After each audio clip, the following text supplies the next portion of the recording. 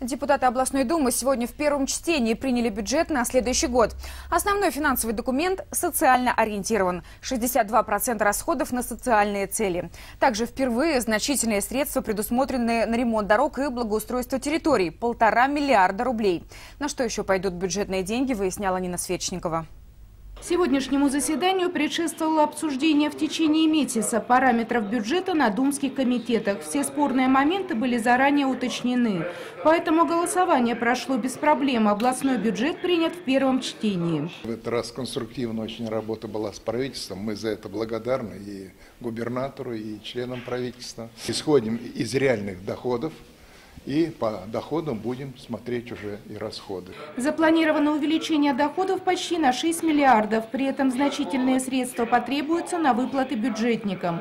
Намечена ежегодная индексация зарплат в сфере образования с 1 сентября до средней зарплаты по экономике, по остальным отраслям с 1 января на 10%. В коридорах власти обсуждали и сегодняшнее обращение городских властей о выделении субвенций. То, что касается заявления – это просто заявление, а к заявлению должны быть приложены расчеты, аргументы, ну и другие факты, а не слова. То пламенное выступление Олега Игоревича, оно скорее эмоциональное, нежели э, по фактуре своей, потому что нельзя ставить приоритеты дороги или зарплаты. Нужно все проблемы решать в комплексе, а областная власть будет городу помогать. 50% это город получает из бюджета области в виде субсидий, субвенций и так далее. На следующий год на ремонт дорог области выделено полтора миллиарда рублей. С учетом софинансирования на дороге Ярославля приходится 583 миллиона.